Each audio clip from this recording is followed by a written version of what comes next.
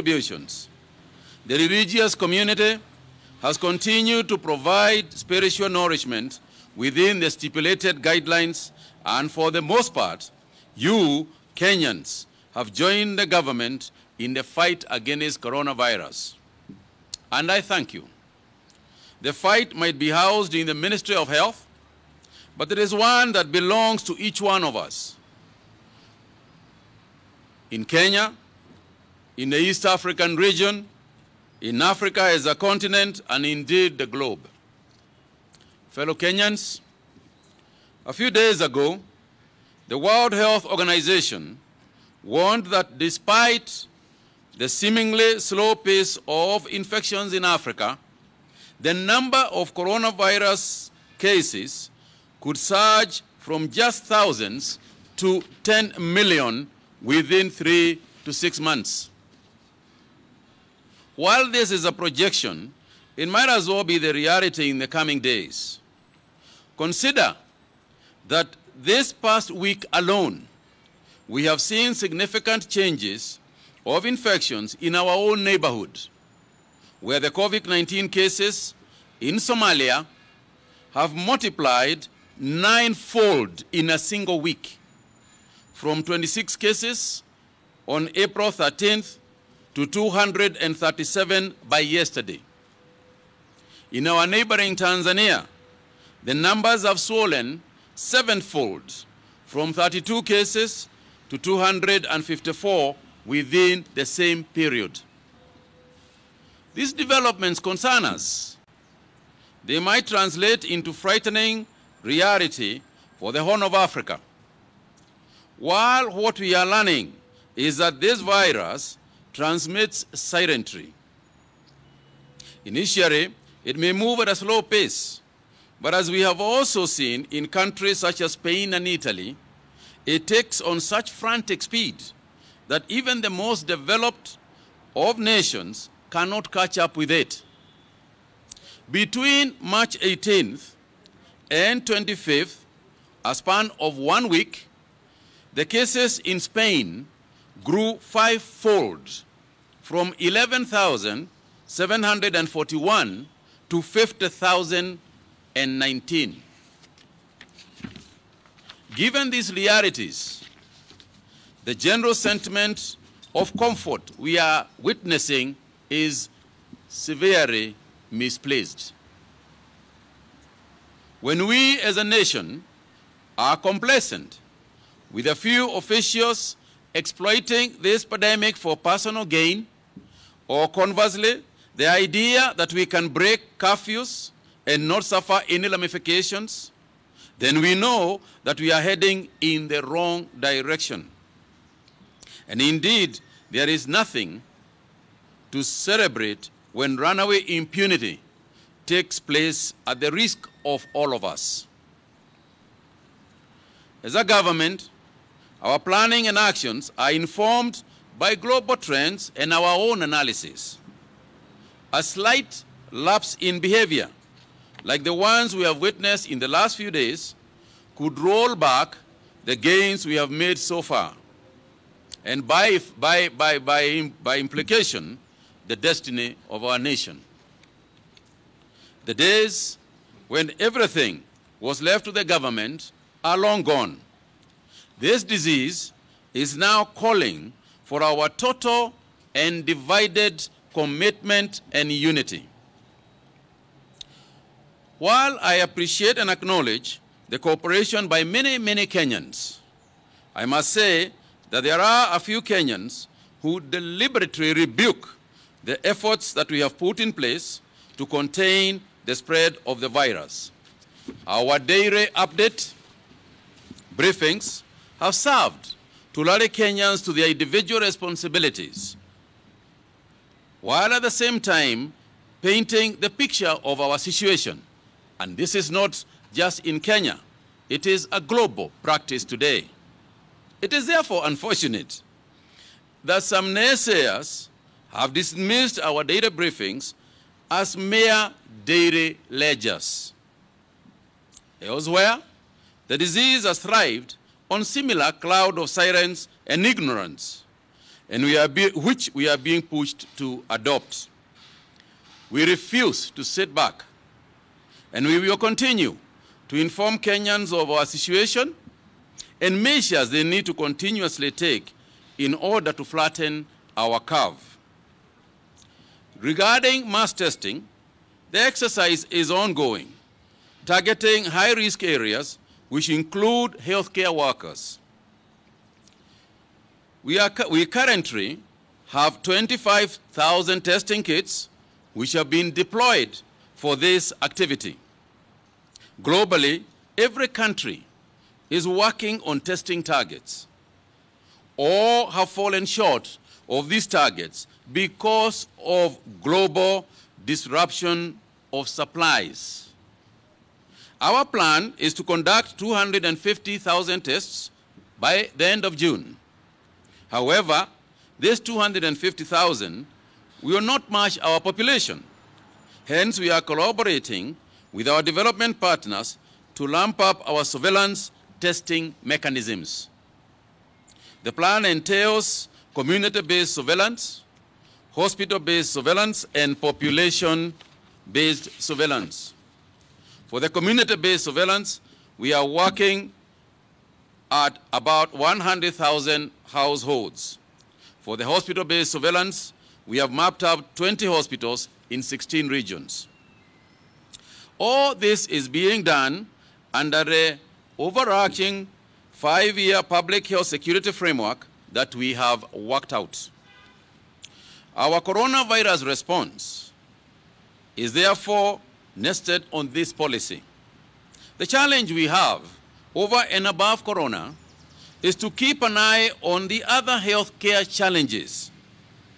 I therefore want to call on all counties to ensure continuity of health services without losing sight of the corona epidemic. We should therefore be prepared in the coming days to share our county health service delivery scorecards. Ladies and gentlemen, fellow Kenyans, in times such as this, we have to be alive to the effect that COVID-19 management measures, what these measures have had on our people. We are particularly concerned about mental health. Towards this end, we have established a psychiatric and psychological care help framework over this period. If you feel distressed and needing counseling or psychological care, please call double one double nine and you will be attended to. For any inquiries on continuity of psychological care or psychiatric emergencies or crises, please call our hotline, which will be distributed to the media. Today, we have looked at the unfolding situation in Mandera County. So far, the county has eight cases, the latest being two cases of urban refugees. Now, this is a dangerous situation because, as you are well aware, Mandera has a lot of is, is a corner is a corner county with neighbors on two sides, and is also affected by travel from uh, other parts of the country. Therefore, as part of the containment measures, the government has today restrict, directed restriction of movement into and out of Mandera County. The county, therefore, becomes the fifth county where movement has been restricted. Today, having tested 707 samples, we have seven persons who have tested positive to the disease. Those being Kenyans as a whole. We don't have any foreigners in those figures. And I would like to state, kama vile nilisema, hii ugonjwa si ugonjwa wa serikali, hii ni ugonjwa wa kila mtu. Na kama mjuavyo, kuna wale ambao hawaogopi, na yule ambao haogopi atakuja kuogopa, kwa sababu hii ugonjwa haina tajiri, haishagui tajiri, haishagui kijana, haishagui yoyote. Kila mtu, kila mtu anaweza kushikwa na hii ugonjwa. Kwa hivyo sisi tunasema wale ambao wale ambao wanasaidia sisi sana ni wale ambao wanafuata sheria ile tumetoa, mipango ile tumetoa. Hao ndio wanasaidia sisi kama Wakenya, lakini mjue ya kwamba wale ambao hawafuati, wale ambao mnaona wakiruka wakitoka kwa quarantine facilities, hao watu ni kusema wanataka kutoka huko waingie vijijini wapeleke ugonjwa huko vijijini. Ukiona mtu akiruka ni vile vile vile, mnajua wale wengine walifanya. Mnajua kuna watu walienda mazichi upande wa Malindi kule Kilifi, ugonjwa ukaanza. Wengine wakaenda mikutano, ugonjwa ukaanza. Hapa Isili tulikuwa na imam alikuwa ajui yeye ni mgonjwa, akaja akafariki. Wale ambao walikuwa na yeye karibu wamepata hii ugonjwa. Kawangware iko watu wengi, walianza na mtu moja, wakaenda tatu, wakaenda ingine wengine wawili, na tunaen, na tunaendelea. Tunaendelea kufanya testing. Huko, tuone ni wangapi. Pengine. Ukiangalia kule Mombasa upande wa KPA vile vile. Vile vile hii ugonjwa inaendelea inaendelea kuchika watu. Kwa hivyo jameni, mimi ningewasihi wa Kenya, ningewasihi wa Kenya tusije tukasikiliza wale ambao ni lazima waseme mambo mambaya, mambo maovu kwa wale ambao wanafanya hii kazi, kwa mimi mwenyewe, kwa wale wengine. Msije mkasikiza hao watu. Mimi ningewasihi tuendelee kusikia vile serikali inasema, kwa sababu hii kazi ya kupigana na hii virusi si kazi yetu kama serikali. Hii ni kazi ya kila Mkenya, kila Mkenya. Na wewe ukijisikia, ukiona kama sio wewe, ukiona kama hii si kazi yako, basi wewe umeanza kukosea. Wakati unasikia wewe si hiyo sio kazi yako, umeanza kukosea, kwa sababu hii ni kazi yako. Kwa sababu gani? Kwa sababu hii ni ugonjwa wetu. Kwa sababu gani? Kwa sababu hii ugonjwa inaweza shika wewe, na ikishika wewe, basi wewe utaleta hiyo ugonjwa kwangu na kwa yule mwingine. Asanteni sana.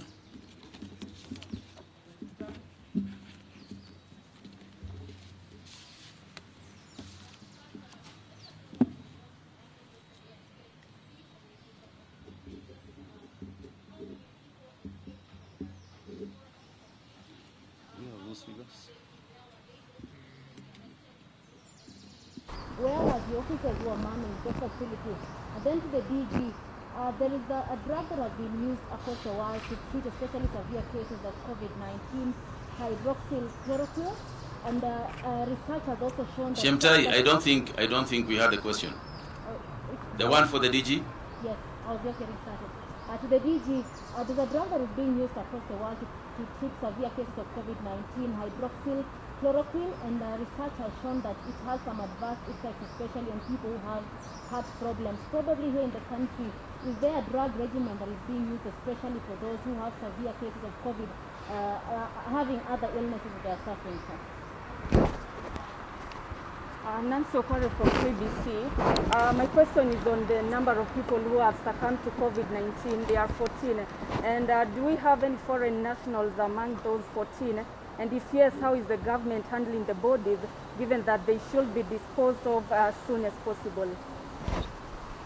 I think uh, for me, I am going to respond to the issue of uh, KMTC briefly. I think more, most of those questions were uh, technical questions that uh, uh, Dr. Amoth can answer. On KMTC, and by the way, it is not just KMTC. Le- let, me, let me explain. It is not just in KMTC that people have uh, escaped from um, uh, from quarantine. In fact, Mandera was the first place where people escaped from quarantine. And I would like to agree that it is not possible for people to simply walk out of an institution that has got security forces, that has got uh, uh, people charged with with the responsibility of ensuring that people stay within the quarantine facilities. But more importantly, it is very difficult to fathom how an individual who knows very well they are not in prison, quarantine facilities are not prison facilities. You have been kept there or you have been, you have been quarantined so that you can protect yourself and you can protect those people around you. So, those of you out there, those Kenyans who know of an individual who was in quarantine, and you know them, who was in quarantine, who is now proposing that you should be living normally with them. An individual who you are aware, because there were even videos, who you are aware jumped the fence at KMTC, jumped the wall at KMTC, and is now with you. That individual is going to cost you very, very highly. That individual could end up killing your child. It is therefore imperative and important that you call the police and let them know that individual XYZ was in quarantine and is now hiding in house number 10 or house number 12 at Umoja or Buruburu or, or, or wherever else.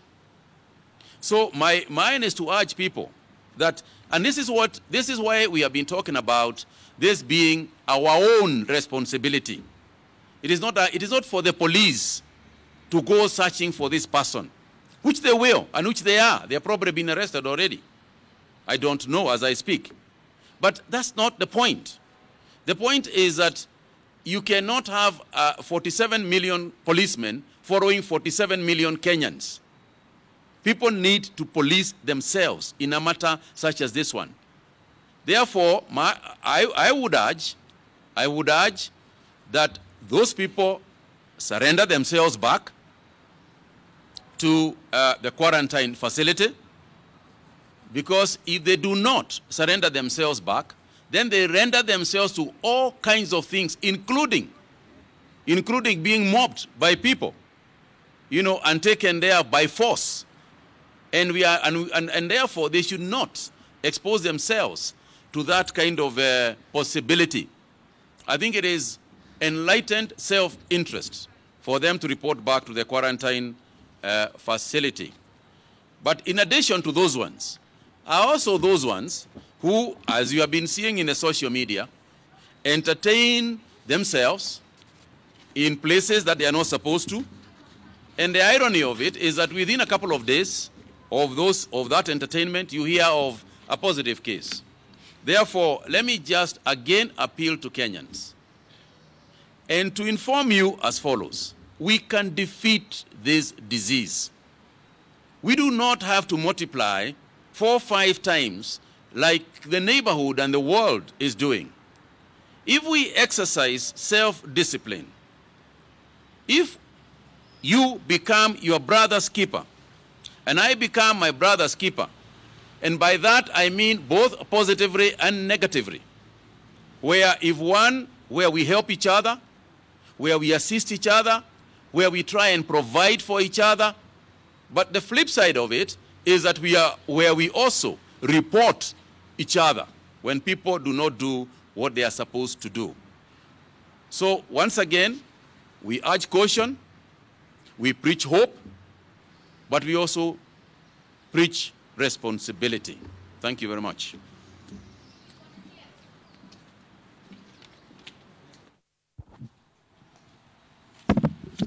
Uh, thank you, Cabinet Secretary. Uh, Chemutai asked about the use of hydrochloroquine and its safety profile. Remember, hydrochloroquine and chloroquine are closely related compounds and had been used before, and they are even continue to be used. For example, for rheumatoid arthritis and other immunological conditions which require control. Our case management team have developed proper guidelines on the use of chloroquine, taking into consideration existing medical conditions. So we shall be able to adequately titrate the dose of chloroquine.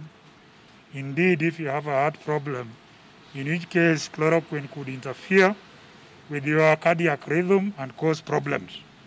And as doctors, we know how to do that and we do it very well. But I also want also to highlight that it's not only chloroquine that is being in use. Over and over again, we have reported other compounds that have been used world over, some with very good results. However, one of the limiting factors has been the limited number of cases studied. For example, there's a new drug called remdesivir that has been used in the United States with very, very good effects, but on a small select population of people. And there are many other compounds, Avigan, Kaletra, interferon, and all drugs, including Panadol, has adverse effects and must be used within a proper dosing regimen. And this will apply for treatment of COVID if we adapt use of chloroquine and hydrochloroquine as one of the molecules in treatment of severe COVID disease. In terms of, in terms of internment of uh, bodies of foreign nationals, I'm pleased to inform you that foreign nationals have done very well. We have had a, a Congolese couple who were discharged the other day. There's a gentleman from Comoros who has been discharged from the treatment center, another one from Cameroon, and another one from Pakistan. So they have done well, but we also have standard guidelines that we have adapted from the World Health Organization and customized to our local needs for internment of bodies. So far, it's only one foreign national who passed on at Kenyatta National Hospital, and in liaison with the Ministry of Foreign Affairs, we quickly reached out to the embassy and uh, we got a letter of authority from the relatives of this individual, and the individual was buried in a cemetery, I think, in, uh, in Nairobi. So foreign na- nationals is only one who has passed on. Very many of them have done very well. They have been discharged, awaiting just clearance of travel clearance to be able to go back to their respective countries. Thank you.